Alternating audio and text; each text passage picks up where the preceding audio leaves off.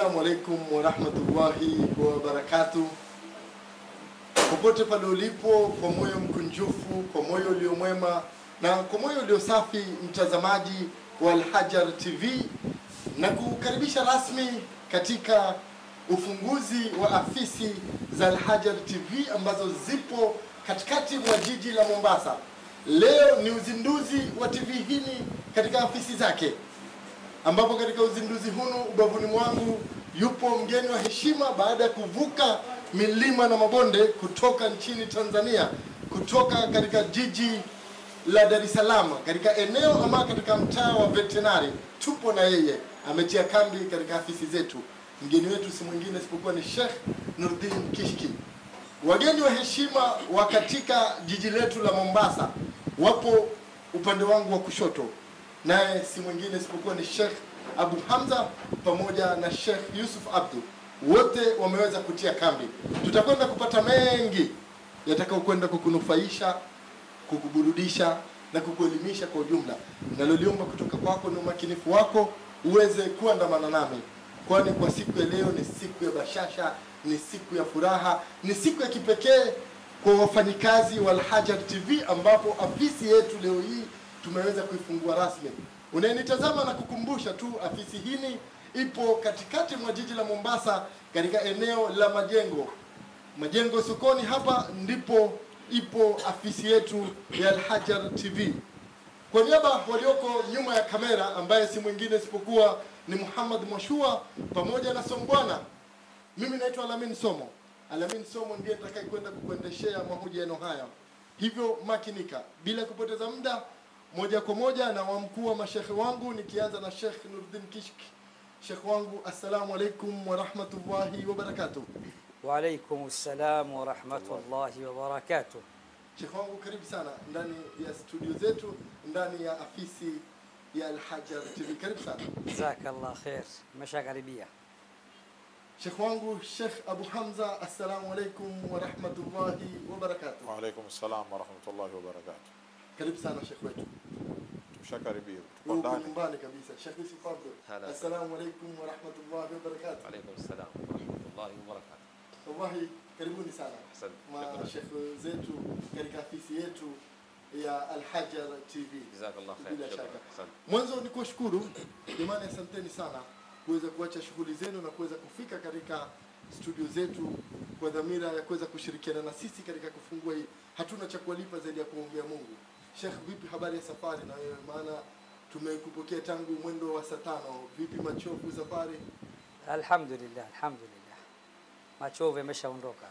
Bila shaka moja kwa moja tukianza kwako Sheikh wangu, maoni yako, hisia zako kuhusiana na TV hii, TV ya Sunna, TV ya Alhajar ambayo imeingia ndani ya jiji la Mombasa na leo imeanza rasmi. Sheikh wangu, بسم الله الرحمن الرحيم الحمد لله والصلاة والسلام على رسول الله وعلى آله وصحبه ومن والاه أما بعد kwa uhakika eh, binafsi nina furaha isiyokuwa na kifani eh, leo kuchaguliwa kuwa mwenye kukata utepe kwa ajili ya kufungua rasmi eh, ofisi za Alhajar TV. Eh, hakuna kilichowafanya kutangulizwa mimi katika hilo ila ni kwa sababu ya ugeni wangu na si, si, sina chochote wala sina lolote la kuwazidi mashekhe waliokuwa mbele yangu. Ama nikiingia kuhusiana na Alhajar TV, kwa kweli sote tunafahamu ya kuwa zama zimebadilika. Zama tunazoishi nazo ni zama za wasail alijtimaiya, ni zama za media, media, social media kwa ujumla. Na mashekhe zangu watanikosoa mimi ninavyofahamu e, wasailu da'wa ni ijtihadia wasail نسيو أسلوب. أسلوب لأساليب الدعوة لتوقيفية. قل هذه سبيلي أدعو إلى الله على بصيرة أنا ومن اتبعني وسبحان الله وما أنا من المشركين. أدعو إلى سبيل ربك بالحكمة والموعظة الحسنة وجادلهم بالتي هي أحسن. هيني أسلوب. أما جمع ياكني أساليب. أما وسائل Ad-da'wa ni tawqifiyya. Nikisema wasail nakusudia nini? Wasail nakusudia hata vipaza sauti vya msikiti ni wasail, wala si ghaya. Hupelekea sauti yangu ifike mbali zaidi, hupelekea neno lile la Allah subhanahu wa ta'ala nililolisoma mbele ya waumini mia tano ifike kwa waumini elfu tano ifike kwa waumini laki tano ifike kwa waumini milioni tano na zaidi. Kwa hivyo zama kwa kuwa zimebadilika na media hivi sasa ndio imeshika hatamu katika dunia hii, na bila shaka walioanzisha media wameanzisha kwa malengo, na moja ya malengo yao ni kuupiga vita Uislamu na kuchafua sum'a ya Uislamu, lakini pia kuleta vitu vyenye kupotosha jamii kwa ujumla.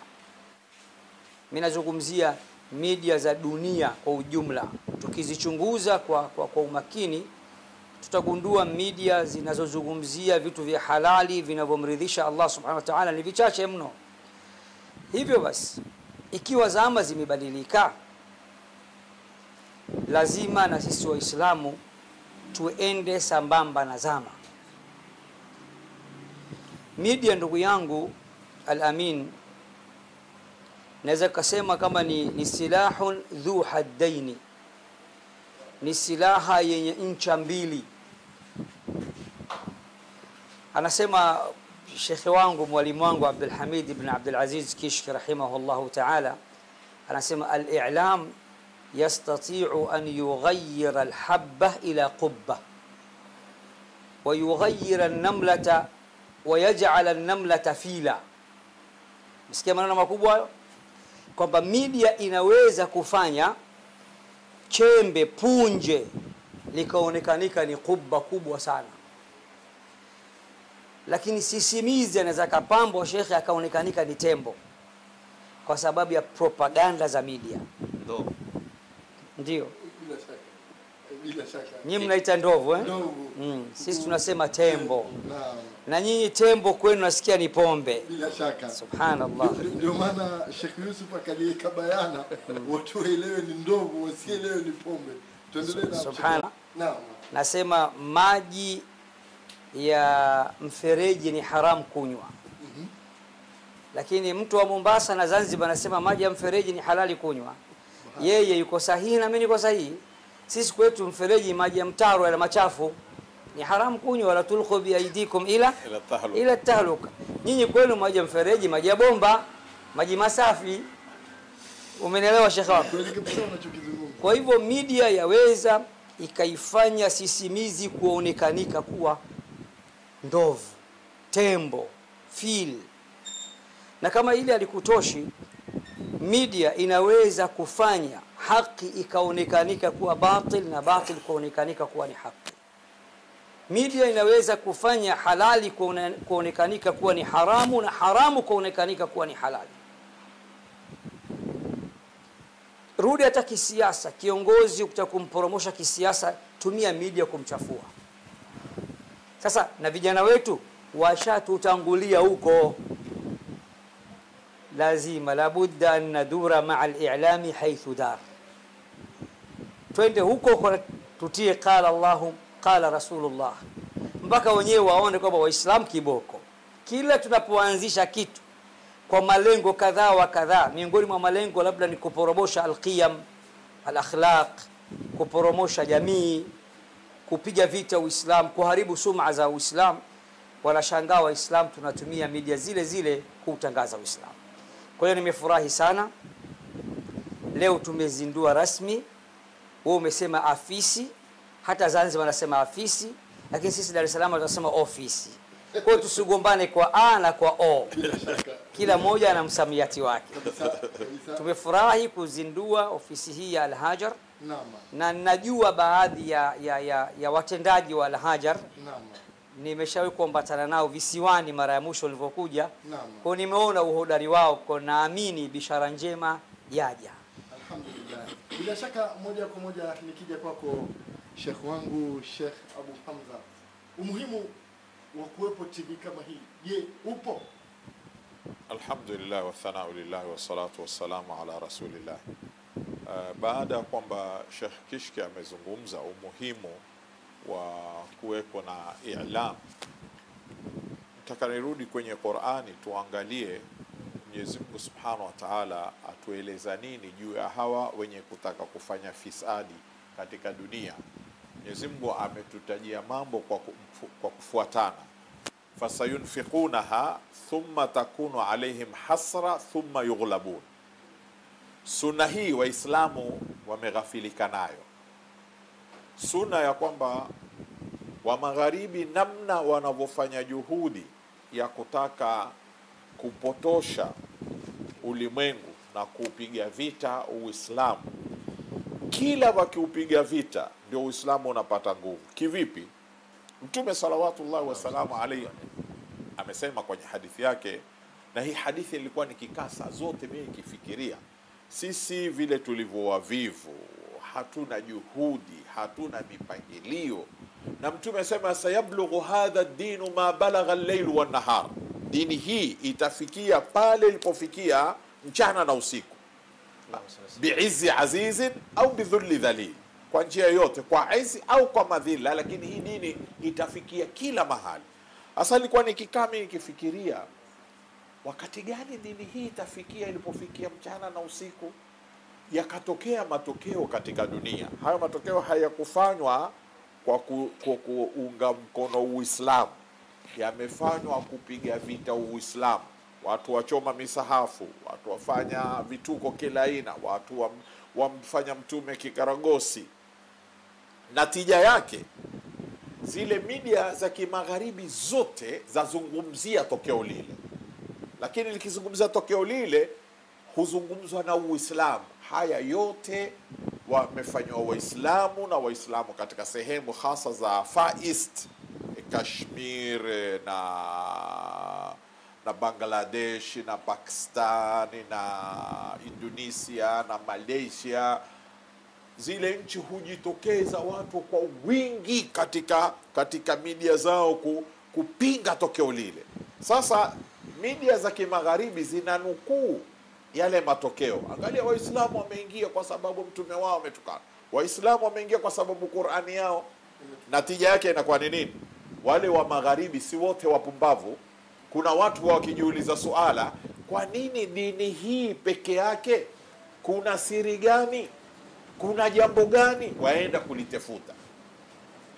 Wanapoenda kulitefuta wakuta lile linalozungumzwa sivyo, Uislamu ni mngine, na yale zile midia zao zilivyokuwa zinafanya propaganda zao ni nyingine. Lakini turudi kwenye hii midia Je, katika asli ya tashria ipo? katika zama za mtume mtume alitumia midia iliyokuwepo pale alipanda juu ya jabali akasema ya bani fulani ya bani ya bani hashim ya bani abdul muttalib ya bani watu wote wakajikusanya. Akawambia mimi nimetumilizwa na mwenyezi mungu kuja kuwatahadharisha na adhabu yake na mimi ni mtume wa mwisho. Abu Lahab akamwambia alihadha jamaatana. Aliwakusanya mtume alitumia system ya media ya wakati ule. Amepanda juu ya jabali ili kila mmoja amwone na msikilize, kisha akaita zile koa za Maka zote kwa majina yao, wakajikusanya, mtume akafikisha ujumbe. Sasa ikiwa leo kumekuwa na njia ya kufikisha risala ile ile ya mtume salawatullahi wasalamu alaihi, pamoja na kwamba hii risala sasa hivi kuna matatizo mengi yanaokumba hasa kwa watu ambao wataka ku, ku, wanasahau kwamba katika risala ya mtume lengo lengo moja katika malengo aliyoyataja mtume salawatullahi wasalamu alaihi kwamba buithtu liutammima makarima alakhlaq, mimi nimetumilizwa kukamilisha akhlaqi njema. Sasa wa magharibi wamekuja na media, wa magharibi wamekuja na center za research. Hakuna university hata moja leo katika nchi za kimagharibi ila kuna center ya kuresearch Uislamu, si kwa lengo la kusupport, kwa lengo la kuona mapungufu yale yale mapungufu yatangazwe, ionekane kwamba Uislamu ni rajia, Uislamu inarudisha watu katika zama za za stone century and so on and so forth. Lakini natija yake inakuwa ni nini? Wale researcher wenyewe wajieleza kwamba mimi nimepewa pesa kiasi kadhaa, nende nikaisome Qurani, nipate makosa yaliyoko ndani ya Qurani, nije kupata kuyatangaza. Natija yule mtu katika ile process ya yeye kwenda kufanya ile research asilimu. Sasa tunarudi pale pale katika ile sunna ambayo watu wameghafilika nayo. Kwanza tusikate tamaa na rehema ya Mwenyezi Mungu, lakini tukumbuke ile fasayunfiqunaha thumma takunu alaihim hasra thumma yughlabun, watatumia mali yao na akili zao na uwezo wao na pawa zao, thumma takunu alaihim hasra, kisha itakuwa ni majuto kwao. Kwa nini tumetumia uwezo wote huu? thumma yughlabuna, kisha watakuja kushindwa. Kwa hivyo sisi hatutake Alhajara TV moja, tunataka bilioni moja, kwa sababu wale wanaohitaji risala ya Uislamu mpaka leo sisi hatujaweza kuwafikia na kuwafikishia, na hii ndiyo mbinu rahisi leo ya kuweza kufikisha hii risala. Kwa hivyo hili si jambo la kutaka, si suala la kuulizwa bali hili ni jambo, ni wajibu kwa sasa, yoyote mwenye uwezo awe na TV iwe na, na, na, na stream system katika social media zote, katika TikTok, katika Telegram, katika Instagram, katika Facebook, katika YouTube, zote lazima kule tuweko, tena tuweko hadhir kwa kuyajibu masala ambayo watu leo yanawaletea shida wanaoshindwa kusema kwamba matatizo mulionayo, rudini katika Uislamu, ndio kuna suluhisho. Wassalamu alaikum. Kuna pointi moja mzuri umeweza kuizungumza, uzuri wa kuweza kukashifiwa. Mtu ukitajwa, uwe umetajwa kwa uzuri, umetajwa kwa ubaya, uzuri wake ni mmoja tu, kuwa ushatajwa na watu wamekujua. Uki- Uislamu, kuna ule Uislamu, ile Islam umeshaweza kuitaja. Kwa hivyo kwenye pointi yako naisisitiza, naiona ni wangekuwa wanatambua wasinge hata wasinge Eh, ma- manake wale wale wanaofanya mtu yeyote anautusi Uislamu kwa leo, Naam, mtu akitaka kujulikana naam, ona njia ya kupata umashuhuri ni utukane Uislamu, kwa sababu ukiutukana Uislamu kutakuwa na reaction kutoka kwa Waislamu. Waislamu wata, watajibu lile. Wakilijibu lile, ulimwengu mzima utapata habari. Sasa yule watu wengi wale wanaofanya yale wanaoyafanya, lengo lao huwa wataka na wao waingie katika vitabu vya tarikhi, ajulikane fulani aliandika kitabu akautukana Uislamu akapata umashuhuri, fulani alichoma Qurani akapata umashuhuri, jina lake likatajwa katika katika vyombo vyote vya media. Kwa hivyo sasa hivi watu wale wenye malengo kutaka kujulikana waona njia ya kujulikana kiurahisi ni kushambulia Uislamu. ndio. Ndio, ndio hivyo. Mimi nilipo wakati wa wa wakati mmoja nimekwenda katika nchi moja ya kimagharibi, nikaenda no. kwenye pahali pa kuuza vitabu, no. nikakuta ile ile bookshop hakuna kitabu hata kimoja, mm -hmm. hata zile dead stock wanazoziita no. ah, zimemalizika. Kamuuliza kwa nini, asema haya matokeo ya ulimwengu, mimi nimeuza stock zote sina, na walionunua hivi vitabu Si Waislamu. walionunua hivi vitabu ni wa magharibi, kununua kutaka kujua kwa nini watu waushambulia Uislamu. Moja kwa moja nikija kwako shekhe wangu Sheikh Yusuf Abdu, Alhajar TV inaegemea mambo mawili, inaegemea kwenye masuala yetu ya sunna kwenye Uislamu, kwenye kala Allahu kala Rasul, na Alhajar TV inaegemea masuala ya kijamii, jamii iliyoweza kutuzunguka, maisha yao, riziki zao. Haya yote tutakuwa tukiingia mashinani kutokana na kwamba tuko kwenye dini na tuko kwenye jamii. Hisia zako shekh wangu Shekh Yusuf Abdu ni zipi? Jazakallah khair. Bismillah rahmani rahim. Alhamdulillah salatu wassalamu ala rasulillah. Assalamu alaykum wa rahmatullahi wa warahmatullahi wabarakatuh. Waalaikum salam wa barakatuh Eh, kwa kweli siku zote huwa ni tatizo unapo unapoekwa uwe wewe ni watatu baada ya wawili ambao wote ni wasomi, Sheikh Nuruddin Kishki, kisha aulizwe Sheikh Abu Hamza. Alafu sasa uje kwangu uniulize nichangie, huwa ni mtihani mzito mumenipa, sababu mada ni ile ile na kila mmoja ameshadondoa. Labda mimi sasa kwa taufiki yake Allah subhanahu wa ta'ala, kutokana na mazungumzo ya Sheikh Nuruddin Kishki na kutokana na mazungumzo ya shekhe wetu Abu Hamza, na mimi nitadondoa vitu yani vile nilivyofaidika mimi niwaambie watu nimefaidika na nini, na huenda kutokana na hayo labda ikawa na mimi pia nimechangia kuzungumza katika ufunguzi rasmi wa Alhajar TV. Kwa kweli nilichokisoma, nimesoma ya kuwa Mtume wetu Muhammad sallallahu alaihi wasallam lengo ilikuwa ni kufikia watu. Kwa hiyo ikiwa lengo ni kufikia watu, yeye aliangalia ni mbinu gani wakati wake ili aitumie.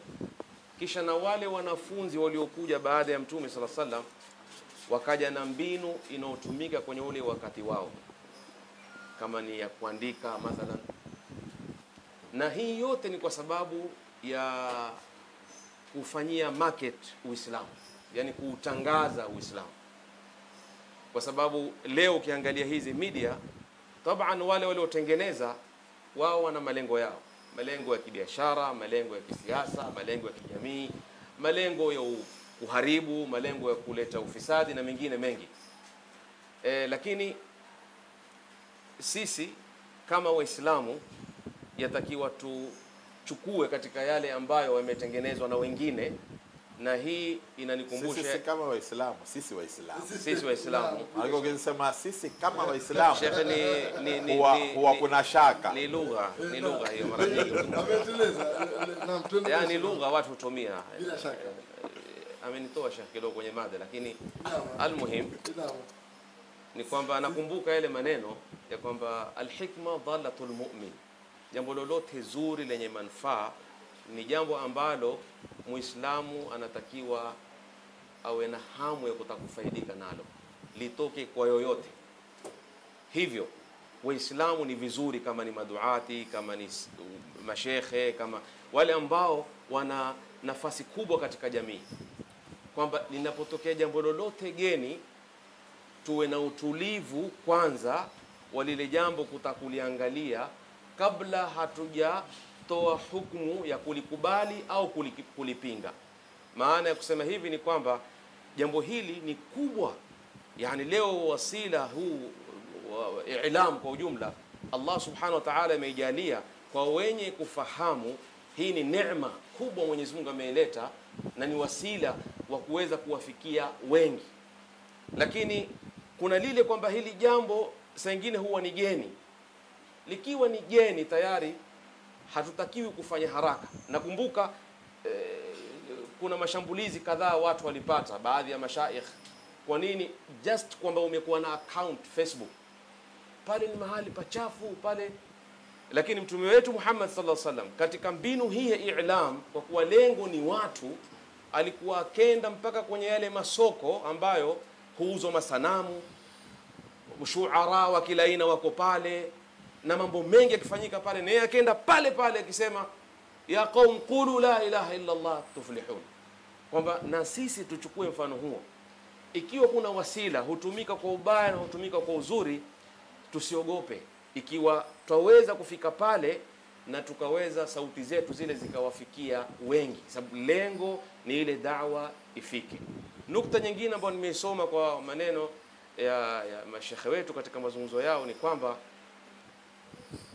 Uislamu ni dini ya wote. Dini ya Kiislamu si dini iliyokuja kwa watu fulani. wama arsalnaka illa kafatan linnasi bashiran wa nadhira, hatukukutuma wewe Muhammad sallallahu alaihi wasallam ila uwe wewe ni mwenye kubashiria watu mazuri na mwenye kuonya kwa watu wote. Kisha kuna aya nyingine Mwenyezi Mungu asema wama arsalnaka illa rahmatan lilalamin, hatukukutuma wewe ila ni rahma kwa walimwengu. Hivyo ya- yatupasa sana sisi tunaolingania, hususan tunapotumia media, tukifahamu kwamba ni chombo kitaangaliwa na kila mtu, kama kweli nia zetu sisi ni hii dawa iwafikie wanadamu popote pale ilipyo, basi tuwe na hadhari, yani vyombo vyetu visiwe na nembo ya kwamba ni ya watu fulani. Mazungumzo yetu tunapozungumza tuyachuje kiasi cha kuwa yasije yale maneno ikawasababishia watu badala ya kukubali Uislamu wakakimbia Uislamu. Haya ni katika mambo ambayo nimejaribu kuyafikiria kwa haraka haraka baada ya mashehe wetu kuzungumza. Kwa hivyo ilam na iwe ni badili njema, sisi ambao ni Waislamu tuwe ni kwetu, maanake tutafuta badali ambao ni kheri. Maana kusema ni badali ni kwa sababu tayari ipo hii kit, si yetu sisi, wao wametengeneza na kwa malengo yao wao, na huwezi leo ukazuia mkondo wa maji kama wenda hivi ukata kuuregesha huku haurudi. Kwa maana waqi ni leo, kila mtu ana TV, kila mtu ana simu mkononi, kila mtu hospitali kuna ma TV kila mahali leo ni, ni media. Huwezi ukasema tuharamisheni hivi vitu visiwekwe majumbani na itakuwa anta abathan tuhawil, wajaribu kufanya kitu ambacho huenda kinyume na yule waqi ulivyo. Kilichobaki sasa ni kama vile alivyosema Sheikh Kishki kwamba hatuna budi sisi kuingia huku huku kwa malengo ya kuweza kuwafikia wale ambao labda hata misikitini labda hawawezi kuja, hata tukiwaita. je inapokuwa ni yetu. Ushanifahamu eh? Eh, kwa hivyo ikiwa ni yetu itakuwa ni ni, ni, ni aula, Aula zaidi, zaidi wanasema. Sio? Tutaweza kuwafikia wengi, na almuhim, nukta muhimu zaidi ni hiyo kwamba mjue hii dini si ya watu fulani, hii dini ni ya wanadamu wote. Kwa hivyo mazungumzo yetu, barnamiji zetu zisilenge watu fulani, zilenge umma, ili watu wote waingie. wala an yahdi Allahu bika rajulan wahidan khairun laka min humuri ni'am. Sallallahu wasallam. Wenyewe sisi washairi tunasema mabadiliko lazima kwa watu ulimwenguni, nalo lilianza zama, hakika si neno geni, ni tabia ya daima, kipya kuwa cha zamani. Kama hili halikuwa jipya, lingekuja lini? Mfano wetu maua na matawi ya mtini, hili linapofunua lile huanguka chini. Hivyo basi, kwa anayetutazama namkumbusha tu ikiwa kama shekh wetu ameweza kusema kwamba ni jipya limeingia, kwa hivyo nitaiomba jamii tulipokee katika mazingira ambayo Alhajara haichagui haibagui, tukitoa kwenye masuala ya kidini ambao kuna department ya masuala ya kidini, tuna pia masuala ya kijamii. Masuala ya kijamii tunawajulisha na kabisa, Alhajara haituangazia Waislamu peke yake, hata asiyekuwa Mwislamu bora tu jambo lake haliendani kinyume na mazingira ya Kiislamu, tutakuwa tukiliangazia. Kwa hivyo kuna siku usishangae, utamwona asiyekuwa Mwislamu tuko naye katika kipindi, ili mradi tu ni jambo moja. Kuna mtu yeye ni profesa ama yeye ni surgeon wa masuala ya moyo, si Mwislamu na yeye ndiye bora zaidi. Je, asiletwe katika studio? Kuna mtu bila shaka ni sarmala mzuri, si Muislamu. Kwa hivyo hata wasiokuwa Waislamu, ndugu zetu wa Kristo mabaniani, jijue pia Alhajara ni yenu, kwa sababu kunao segment yenu, kunao department yenu. Mimi kubwa naloliomba kutoka kwenu mnaonitazama, jamani, tunaomba mtuunge, kwa sababu kwa uwezo wake Mwenyezi Mungu, huenda kabla hatujaweza kuumaliza hunu mwaka tutakuwa rasmi katika TV. Sasa hivi tuko katika online ambao ni online TV, tunapatikana moja kwa moja kupitia kwa YouTube, lakini kabla ya huu mwaka kuisha, insha Allah, kwa uwezo wake Mwenyezi Mungu, utakuwa ukifungua runinga yako, unaweza ukatutazama moja kwa moja. Kwa wakati huu, ikiwa hatujalifikia lile lengo tunaloliendea, basi tunakuomba uweze kusubscribe tafadhali, kwa sababu uwe ni Mwislamu usiwe Mwislamu, hii TV inakuhusu. Ni TV ya jamii, ni TV ya Wakenya, ni TV ya walimwengu. Ndio maana kibwagizo chetu, logo yetu ni mwangaza wa umma.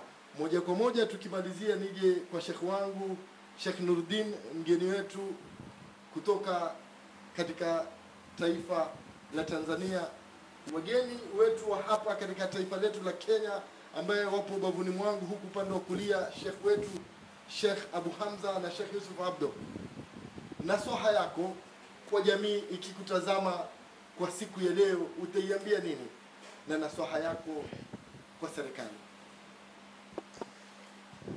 E, kwa haraka haraka nasaha yangu kwa jamii bila ya kuangalia e, makabila yao au rangi zao au itikadi zao, kwa kuwa wametumia lugha ya jamii, jamii ifahamu ya kuwa tumeletwa duniani kwa malengo maalum, na aliyetuleta yuko hai na hatokufa. Malengo makuu ya kutuleta kwake ni tumwabudie yeye Allah subhanahu wa ta'ala pasina kumshirikisha na kitu chochote, tuamrishane mema, tukatazane mabaya, tuepuke yaliyo mabaya. Jamii ifahamu ya kuwa media ni nyingi sana katika ulimwengu huu.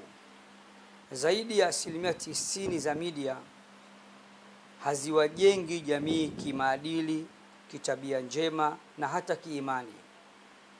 Alhajar TV ni miongoni mwa media zinazojenga jamii kidini na kimaadili. Serikali serikali ifahamu ya kuwa Mtume Muhammad sallallahu alaihi wasallam anasema kullukum ra'in wa kullukum mas'ulun an ra'iyatihi, hakika nyinyi nyote ni wachunga na kila mchunga atakuja kuulizwa juu ya kile alichokichunga. Na Allah subhanahu wa ta'ala anasema waqifuhum innahum mas'ulun, wasimamisheni, hakika yao leo ni wenye kuulizwa. Na hata watakaulizwa ni mitume na manabii wa Allah subhanahu wa ta'ala fala nas'alanna alladhina ursila ilayhim walanas'alanna almursalin, tutawauliza wale tuliowatumia mitume na hata mitume tutawauliza wenyewe. Kwa hiyo kila kiongozi ambaye anajua ana kiti, ana madaraka, ana mamlaka, akaye akifahamu ya kuwa kiti alichokalia ni kwa mapenzi ya Mola wetu, na Mola amempa dhima, na iko siku Mola akirejea kwake atamuuliza uliwafanyia nini jamii yako? Kwa nini kulikuwa na mmonyoko mkubwa wa maadili, na wewe ulikuwa ni kiongozi, ulikuwa una pawa, hukuweza kupambana na hilo? Kwa nini vijana waliharibika na madawa kulevya? Kwa nini na kwa nini? Kwa hiyo kila ambaye ni kiongozi wa serikali na hata wa dini, sote tufahamu ya kuwa iko siku tutarejea kwa mwenyewe Mola wetu na atatuuliza juu ya mamlaka, majukumu na nyadhifa alizotupatia. Moja kwa moja, kabla sijakuja kwa Sheikh Abu Hamza atupe kauli yake ya mwisho na soha yake, huyu inatutazama hawezi kujua ratiba yako ya kesho, Mungu akitujalia uhai na uzima. Je, upo wapi na kuna nini? Insha Allah kesho e, khutba ya Ijumaa nitakuwa Masjid eh, Yusuf eh, Migadini na salatu al-maghrib pia nitakuwa hapo hapo katika msikiti huo huo. Kwa hivyo niko Mombasa kwa kesho tu. Kesho kutwa nitaelekea Nairobi. Jumapili pia nitashiriki katika da'wa ya kina mama. Ukiwa unahitaji kufuatiliza inshallah, ama tunakuomba ufuatilize Sheikh wetu Sheikh Nuruddin, kesho atakuwa live katika Alhajara, ndio maana tunakuambia usubscribe. Ukisubscribe katika Alhajar TV kwa wakati huu unaonitazama, akianza tu kesho itakujulisha kwamba Sheikh Nuruddin Kishki ameweza kuanza, na utaweza kumpata wakati wa dhuhuri na utaweza kumpata wakati wa magharibi katika TV hii yetu, TV pendwa, TV bora, TV ya jamii, mwangaza kwa umma. Sheikh wangu Sheikh Abu Hamza, wanaokutazama utawanasihi nini leo? Nasiha yangu ya kwanza, nasiha ya kwanza ni kuwa mtu yoyote anayefanya kheri, mtu yoyote anayefanya kheri, yataka sisi tuwe na mambo matatu kwa kheri yoyote inayofanywa katika jamii. Wewe pengine hukuwa na uwezo kuifanya kheri kama ile, lakini mwenzako ameifanya.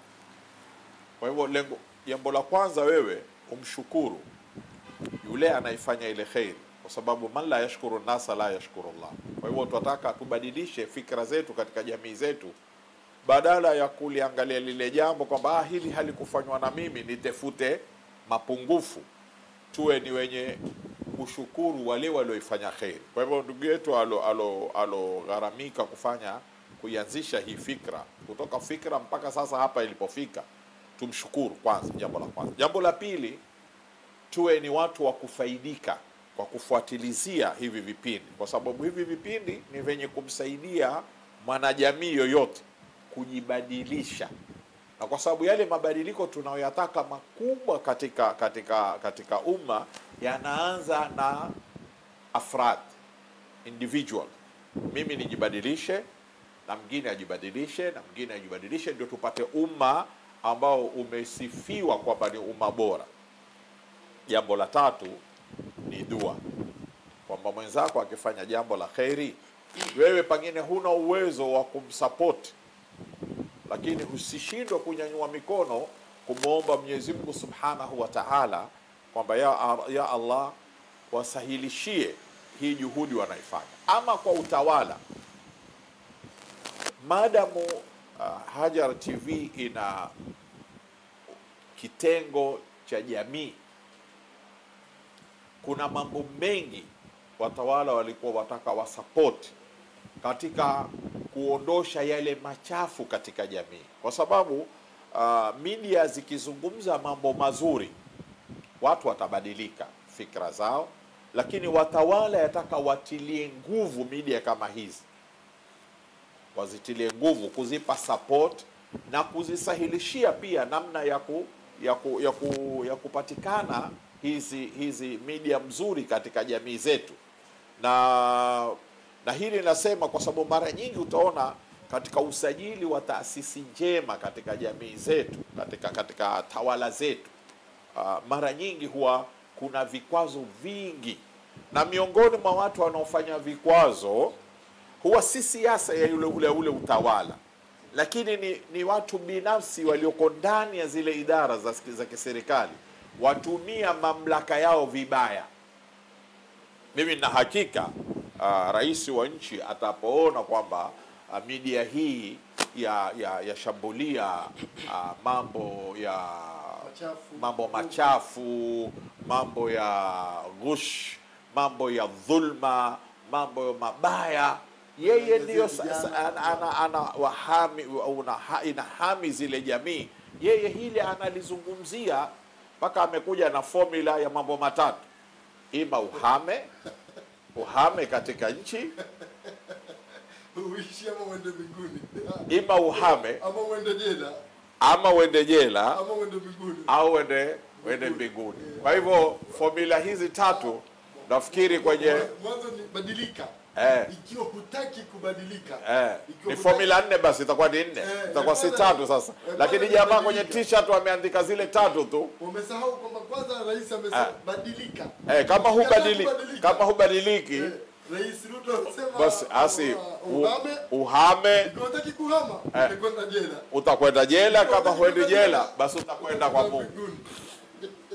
Nafikiri eh, Hajara itakuwa itamsaidia katika katika kuwabadilisha. Ile ya kwanza, si utashika ile ya kwanza ya kuwabadilisha wawe wazuri. Kwa hivyo kila ambaye yupo katika madaraka ajue yeye ana masulia ah, na asiogope binadamu, aogope aliyemuumba binadamu.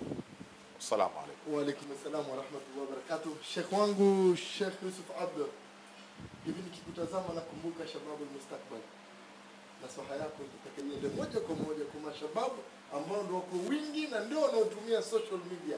Je, siku ya leo wakikutazama utawapa nasaha gani, na serikali yetu kwa ujumla utaiambia nini? Taib. Eh, kuhusu vijana mnaotazama familia nyumbani, wazee, tukitaka kusupport na kushukuru channel hii ya Alhajar ni kusubscribe, jambo la kwanza. Hiyo ndio sapoti kubwa kabisa, maanake kukua kwa hiki chombo ni kiasi cha watu wengi watakao subscribe, ili lolote linalofanyika wanapata habari kwenye vyombo vyao vya mkononi kwamba sasa hivi kuna kipindi fulani kinaendelea sasa hivi. Kwa hiyo ikiwa kuna jambo kubwa, tutakuwahimiza wale wote wanaotutazama kwa wakati huu, ni kila mmoja pale alipo kwenye simu yake asubscribe TV kama hii, ili leo labda usiku tuone umeongezeka watu elfu au zaidi. Hii ilikuwa nasaha kwa Kwa na, vijana. kwa vijana. Nasaha ya pili kwa watazamaji kwa ujumla, nasaha ya pili ni, ni, ni yenu nyinyi viongozi wenye Alhajar TV.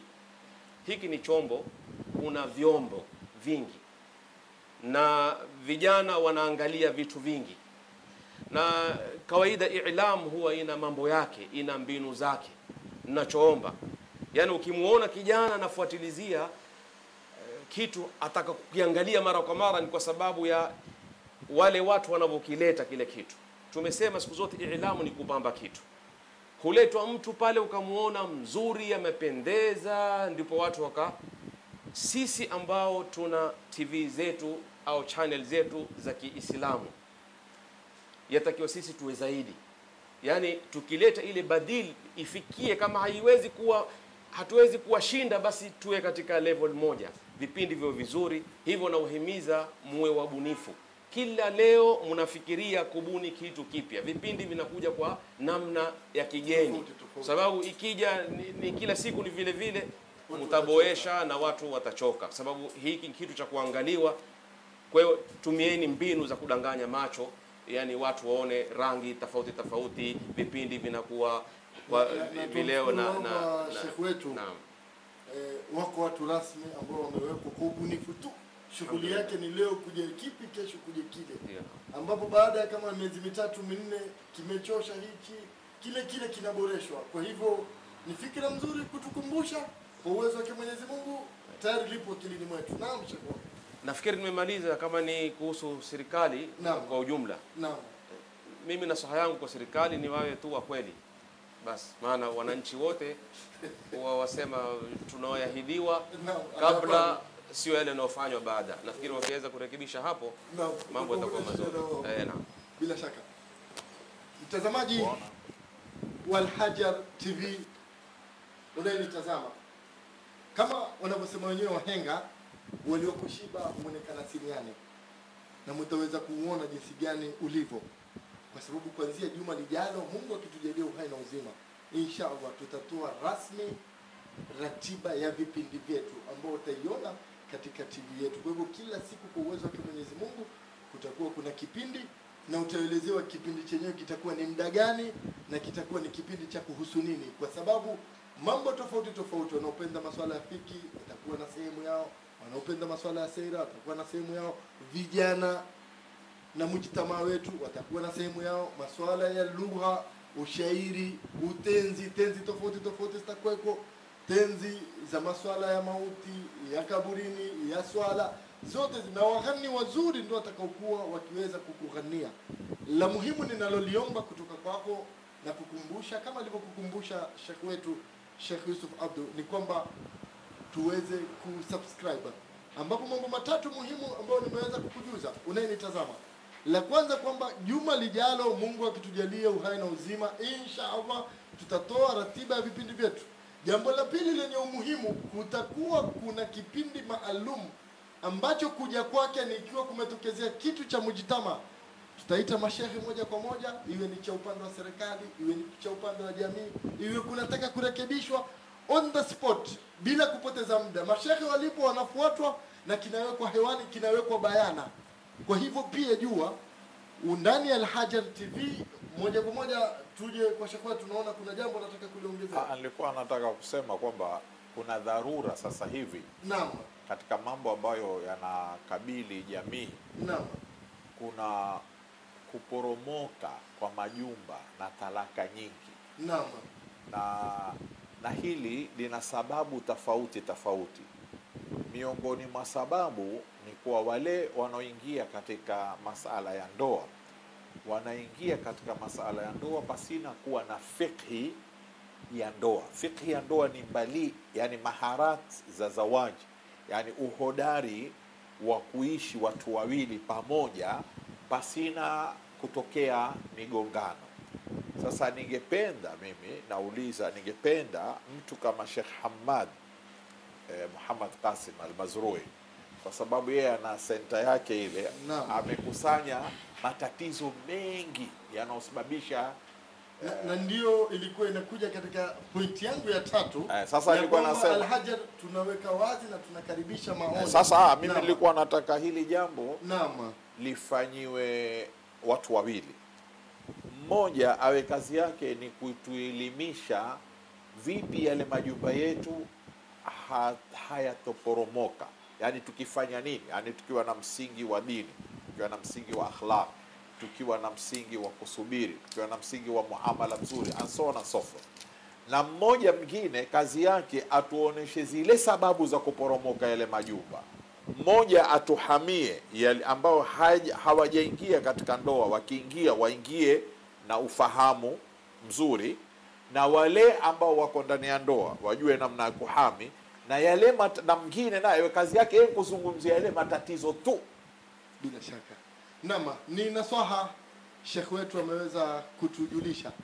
Kwenye pointi yangu ya pili mambo ya pili yenye umuhimu ndani ya alhajara nilipokuwa naendelea shekh wangu kunikatisha tukampa fursa aweze kueleza. Ilikuwa ni kuhusiana na swala la kwamba ndani ya alhajar tv kutakuwa na makala maalum ambayo yanakuja natural pale mambo yanapotokea mfano mdogo kulikuwa kuna wakati wa masuala ya haya ya LGBTQ yalipotokezea. Mambo kama hayo on the spot mashehe wanapewa fursa waweze kuyaangazia. Viongozi wa serikali wanapewa fursa waweze kuangazia. Jambo ambalo linahusu jamii moja kwa moja kunakatishwa kila kitu cha alhajara na kile kitu kinaletwa moja kwa moja. Jambo la tatu lenye umuhimu ndani ya alhajara tunakaribisha maoni tunakaribisha ideas tunakaribisha lolote. Lile lolote unaloliona linafaidisha jamii afisi zetu ziko wazi. Afisi zetu zinakaribisha mtu yoyote. Wakati ule wa afisi unaruhusiwa kuja na kuja kutoa idea yako na itanukuliwa na baada ya kunukuliwa itaweza kufanyiwa kazi. La mwisho ni kuambia tu katika alhajar tv iko upande mbili. Kuna upande wa dini masuala ya kidini ambao hii inahusu waislamu moja kwa moja ni yetu sote waislamu. Na upande wa pili ni masuala ya kijamii. Masuala ya kijamii ni ya wakenya wote. Kwa hivyo kila mkenya unayenitazama hii tv ni yako kwa sababu kuna sehemu yako. Uwe ni mwislamu uwe ni mkristo uwe ni mhindi uwe ni yoyote unayenitazama hii ni alhajar inakuhusu kwa sababu ile sehemu ya upande wa kijamii ni yako la muhimu tu tunalochunga je inaendana na maadili? Jambo liko linaendana na maadili yetu? Ruksa. Unakaribishwa na mtaona watu tofauti tofauti. Tutakuwa tukiandamana nao na wiki ijayo inshallah tutawapa ratiba ya vipindi vyetu. Mapokezi ya murua kwa watu wenye imani. Mwapenda kujisumbua ili tuwe furahani. Jaza tawapamuliwa leo na kesho peponi. Asanteni sana jamani kwa kuja. Wallahi mungu awabariki. Sheikh nuruddin kishki hatuna cha kukulipa sisi zaidi ya kukumbia mungu shekh abu hamza allah shekh yusuf Abdul, wallahi kama wanavyosema wenyewe mungu we really appreciate. Hamjui jinsi tulivyokuwa na furaha kwamba kuitikia mwito kama huu. Jaza yenu iko kwa allah. Na ndani ya hajar tv hii ni yenu.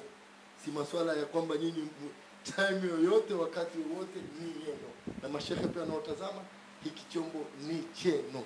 Bila shaka. Na jamii hiki chombo ni chenu. Msisahau kusubscribe urefu na ufupi huwa ni wa mwenyezi mungu upana na wembamba ni juhudi ya mtu kwa niaba ya walioko nyuma ya kamera na kufanikisha shughuli zote wakiongozwa na sombwana sombwana popote pale ulipo unaponitazama profesa bana aitwa profesa bana unaharibu jina Sombwana, au akubariki.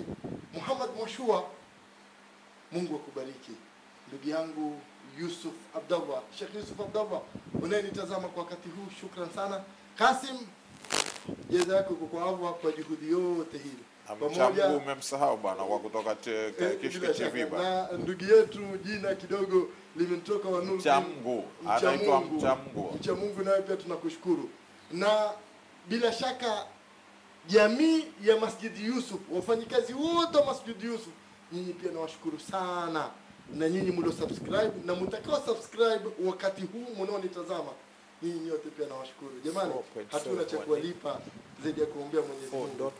Jina langu mimi halibadiliki, ni lile lile. Na lao mtaamua kulibadili, itabidi niundiwe tume. Na kama tunavyojua katika taifa letu la Kenya, kila kukiundwa tume wanasema uchunguzi utaendelea, na jina langu litaendelea. Naitwa Lamin Somo, na kutakia uwe na wakati mwema, kila la heri. Shukran sana.